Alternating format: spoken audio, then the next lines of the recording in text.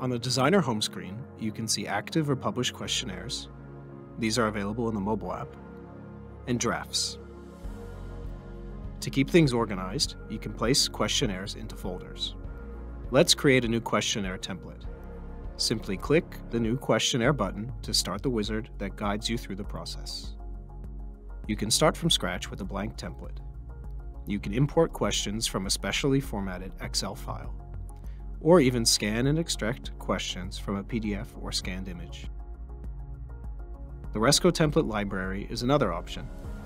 It offers a wealth of ready-made questionnaires that you can download for free and adapt to match your needs. But let's start from scratch this time. Enter a name for your questionnaire. In this example, it's a vehicle damage assessment scenario. Scoring allows you to assign a score to each answer. Depending on the total score, you can quickly evaluate how a questionnaire was answered. In this example, let's keep it off. The settings on the next step are not interesting in demo scenarios, but they have a significant impact for large-scale deployments. Let's go with the defaults for now, but consider studying the implications of these settings before going into production. Let's skip additional settings and start adding content to the questionnaire.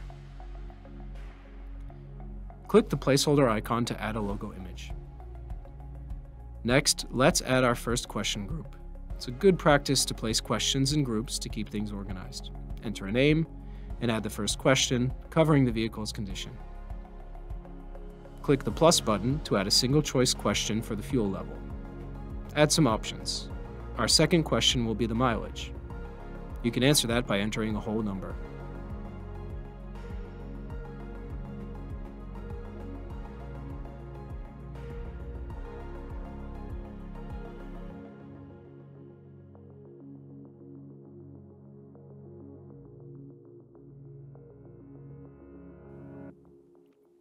To save time, let's take a look at snippets.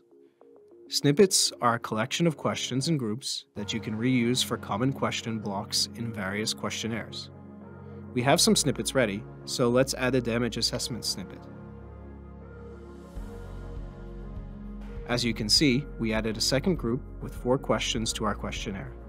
On the right, you can see the type of question or component, for example, a yes or no question, multiple choice, or so on.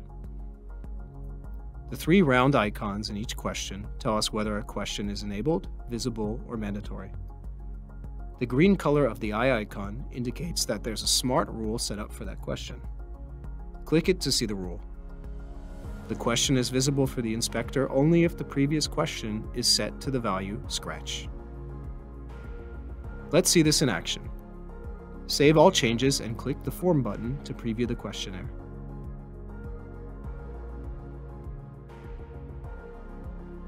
Fill in some random answers. The business logic is tied to the question type of damage. When set to the value scratch, a new question appears.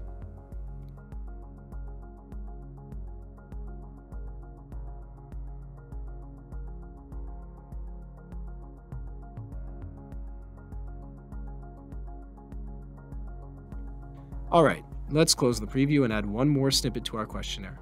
Signatures. Resco Inspections supports various forms of signatures, including legally binding signatures by DocuSign.